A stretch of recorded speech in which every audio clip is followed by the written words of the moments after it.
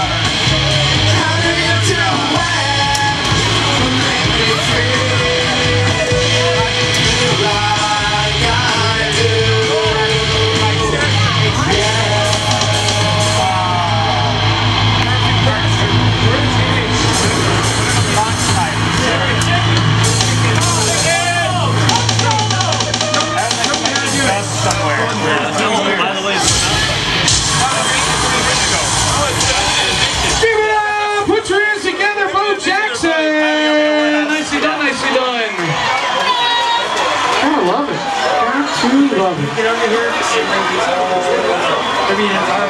Next up, Brian.